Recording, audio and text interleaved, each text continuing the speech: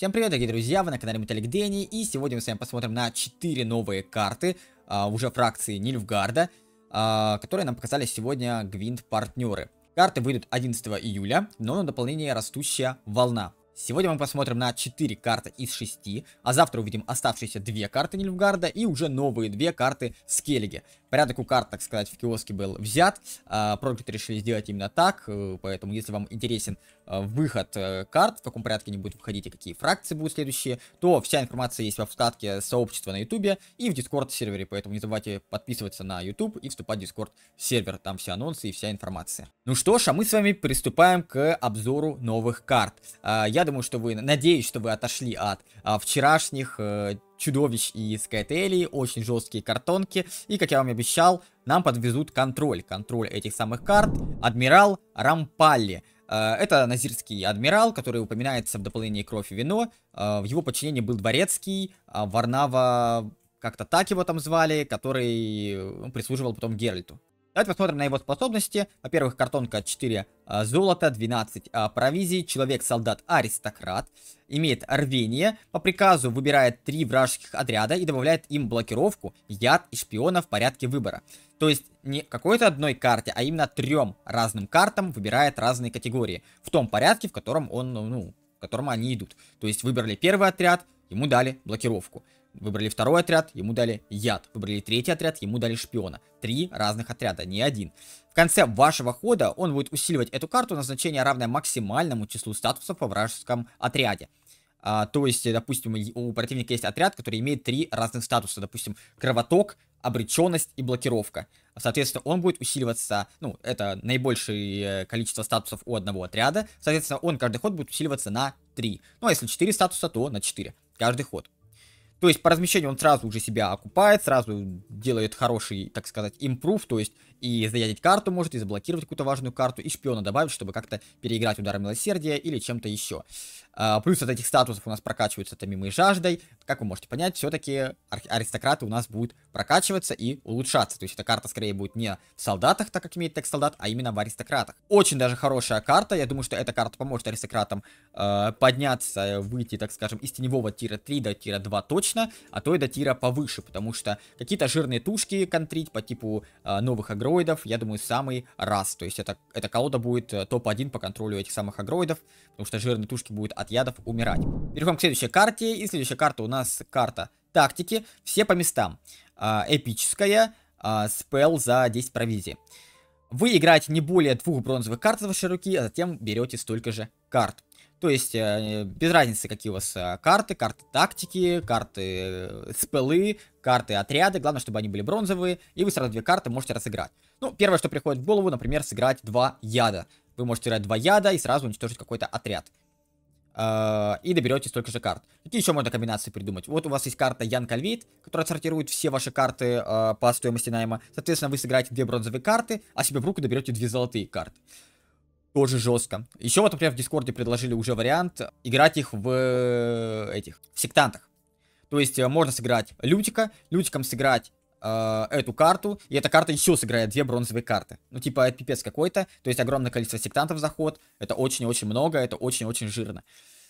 Поэтому я думаю, что эта карта будет играть в каких-то таких, знаете, мидренжовых сборках, сборках, где не играют тактики, то есть каких-то абуз, мидрейндж, вот что-то такое. То есть в классических в классических тактиках вряд ли будет играться картонка. В аристократах может быть, но как будто бы у аристократов и так хватает своих карт. Им еще новые добавляют, эта карта как будто бы не особо вписывается. А, что еще лично мне пришло в голову, это, например, Кальгрим какой-нибудь. А, прокрутка или, наоборот, мил. Сыграть сразу двух а, убийц королей. Или сыграть, например, сразу каких-то ведьмаков, которые, наоборот, а, гадят в руку оппонента, что-нибудь такое. То есть вы себя прокручиваете и сразу две жирные, какие-то важные карты играете. В общем, что-то такое, поживем увидим, выглядит э, неплохо. Для тактик как будто бы в ней ей нет места, потому что у тактик тоже все хорошо. Там и удар милосердия, и Янкальвейт, у них всего хватает, я думаю, им эта карта не нужна. Но она сильная. Переходим к следующей карте. Следующая карта у нас имперский морпех. Человек-солдат, имеющий обход. Сама карта имеет 4 силы и 5 провизии. Карта бронзовая, э, имеющая обход, рвение и приказ она выбирает карту из вашей колоды. В конце вашего хода перемещает эту карту выбранную на позицию вверх в колоде. Если эта карта лежит вверху, а, то вместо этого вы усиливаете ее на 1. А, но не ее, не вот эту, не карту, которую вы выбираете, а именно ее. Я не зря это пометил. Я думаю, лингвисты сейчас могут повнимательнее прочитать, что текст на английском языке. Она усиливает себя на один. Вот, то есть, эту карту. Поэтому многие уже эту карту заценили с Альбрыхом в комбинации. А, но, повторюсь, она будет усиливать не Альбрыха, а себя. С одной стороны, это минус, с другой стороны, это плюс. Так как перебафать Альбрыха, наверное, плохо. Соответственно, в архетипе Альбрыха эта карта может являться неплохим движком. Вы поставите несколько таких картонок, а, и после этого будете перемещать Альбрыха, ну, он всегда у вас будет наверху, вы будете Альбрыха обратно наверх перемещать, наверх, наверх, наверх, прожимать, а он у вас наверху, и эта карта будет пассивно качаться на 2 каждый ход. И это только одна карта. Если вы поставите вторую карту, если вы погонщиком сыграете еще одну карту, то, по сути, ваш Альбрых лежит наверху, а эти карты, движочки, а, благодаря э, обходу качаются, так как Альбрых, повторюсь, у вас всегда будет лежать наверху. И вместо усиления на 1 будете получать усиление 2. Поэтому карта неплоха, то есть вам дают огромное количество сейчас э, карт, э, которые будут связаны с аристократами, а эта карта будет связана с Альбрыхом. И я очень рад, что не только один архетип э, бафается, вот у Нильфгарда, еще и второй. Поэтому Неплохая карта, посмотрим, как она будет реализовываться через Альбрыха. Возможно, даже Альбрых опять войдет в мету. Хотя бы на тир 2. И последняя карта, которую нам на сегодня показали, это карта Катриона. Машина-корабль.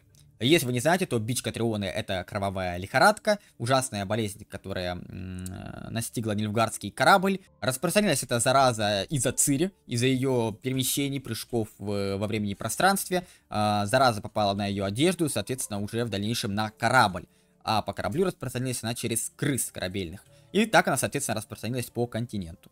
Лорова карта обусловлена, то есть она как бы логична, а то, что она будет добавлять яд. Давайте почитаем, что она именно будет делать. Катриона, машина-корабль, имеет обход. Сама по себе карта 5 силы, 10 провизии, эпическая. Имеет обход и по приказу добавляет яд отряду, который не находится под действием яда и имеет не менее одного статуса. Ну, не менее одного статуса, то есть более одного статуса. То есть вы можете выбрать любой отряд, у которого есть статус, кроме яда. Любой отряд, у которого есть хотя бы один статус, кроме яда. Соответственно, вы убиваете, ну, не можете этой картой сразу убить, например, отряд с ядом, а можете только яд этот добавить. Она имеет один заряд, и в конце вашего хода вы получаете заряды. Соответственно, если вы ставите ее в рукопашный ряд, и у нее работает обход, то она будет получать аж два заряда. Если вы ставите в дальнобойный ряд, то она будет получать лишь один заряд, но также будет укреплять себя через броню. То есть будет добавляться ей броня. Э, повторюсь, что вы сразу не ваншотите отряд, благодаря этой карте. Плюс она не имеет рвения, то есть у нее приказ. Если вот у предыдущей карты есть сразу рвение приказ, а, то здесь именно обход приказ а, без рвения. То есть вы ее просто поставите, и она будет стоять. И зачастую, скорее всего, вы будете играть ее в дальнобойный ряд, чтобы она хотя бы себе броню добила, потому что у нее приказ, вы все равно ее никак не воспользуетесь. Соответственно, эта карта на 5, и ее легко законтрить. Э, в дальнобойном у нее будет 5 и одна броня, то есть шестерка. Это тоже легко законтрить. И тут уже вопрос в ее выживаемости. Uh, опять-таки, многие не верят в такие карты, но вдруг они опять вот, ну, такие карты могут стрельнуть и могут как бы прикольно себя преподнести. Но пока что нам напоминает мне какую-то толстую Хельгу, которая в теории имба, а так вот если попадешься в миррор против толстой Хельги или просто в какую-то контрольную дечку, ну, вы проиграете. Поэтому в теории имба, но на практике может возникнуть проблемы. Опять-таки, под эту карту поставить защитника, ну, дорого как будто бы. А, если в эту карту прилетит блокировка, а, есть, например, такая карта, которая часто играется в аристократах, это, например, виночерпи, который может добавить яд, либо очистить отряд. Поэтому, лично я не знаю, я бы попробовал с этой картой как-то поиграть, поэкспериментировать, но пока что как-то спорно очень и очень спорно. Было бы у нее рвение, возможно, вот так. Как будто бы аристократам не так хватает сильных карт, и это не та карта, которую хочется увидеть. Тем более она корабль, то есть она не аристократ, не активирует э, сценарий, э, даже не солдат, то есть там у нее как-то под солдат как-то подстроить ее. Ни туда, ни сюда. В общем, не знаю, в теории имба, на практике пока посмотрим. Вот такие вот, ребят, карты нам сегодня показали. Э, ну, первые две карты очень неплохие. Эта карта, я думаю, аристократов на новый уровень э, поднимет. Поэтому посмотрим, как она будет дальше. Пока что вроде как неплохо. Uh, из минусов, что могу сказать, это то, что аристократы сами по себе вроде как неплохи, и как будто бы хотелось бы бафнуть какие-то другие архетипы. Тех же, например, конструктов и чародеев, каких-нибудь, не знаю, рыцарей, может быть, э, нильфгартовских, но не аристократов. Поэтому для меня баф, если честно, не совсем понятен, но как будто бы окей. Как будто бы окей, это действительно интересно. Поэтому посмотрим, какие карты следующие две нам покажут. Пишите свое мнение о данных картах в комментарии, я обязательно почитаю и отвечу вам.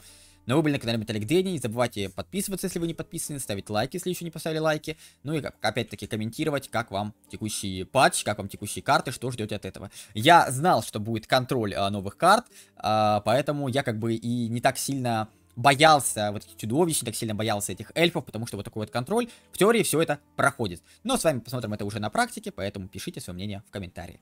Играйте на хороших колодах, не играйте на плохих колодах, не забывайте посещать стримы. Всем удачи, ребят, и до новых встреч.